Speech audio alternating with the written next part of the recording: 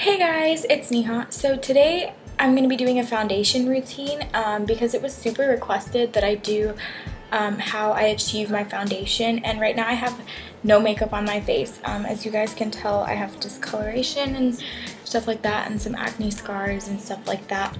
So um, I'm going to just go ahead and jump right into it. So the first thing I'm using is my foundation of course and I have the NYX HD um, Studio Photogenic Foundation in the shade um, 7 Warm Sand. And what I'm going to do is I'm just going to take one pump of it and put it on my hand like this. And this is what it looks like. And it has super awesome coverage.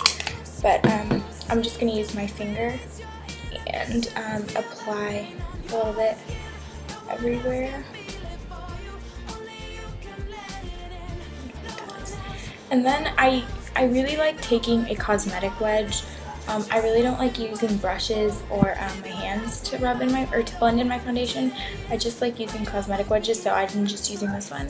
And I'm going to start with my neck and then working my way up. And really just blending it in.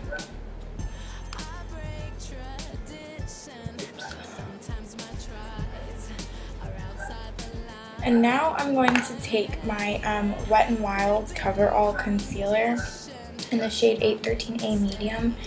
And um, this is just going to go under my eyes and right here and around the mouth area and right there.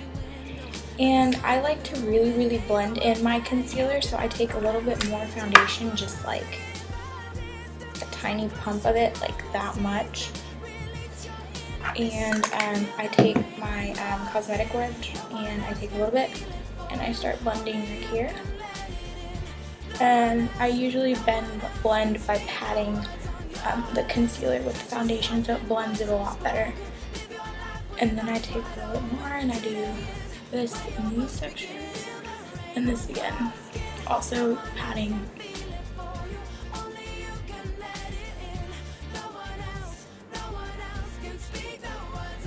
Okay, so I'm done with that. Now I'm going to take my NYX HD Studio Photogenic Foundation in um, um, warm beige, and it is um, stay matte but not flat, so I love that it's matte.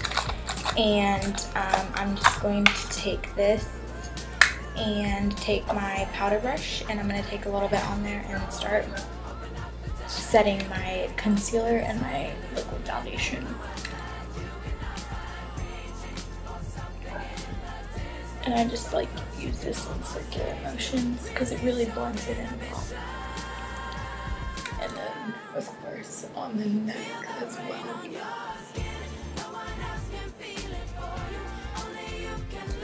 Okay, so when I'm done with my um, powder, I do blush, and that of course varies, but today I'm going to be doing my um, my NYX blush in um, 13 Mauve.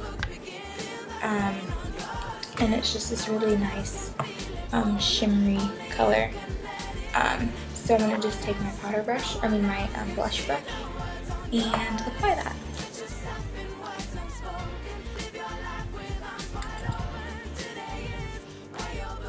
And I like to take it up a little bit just for so it looks more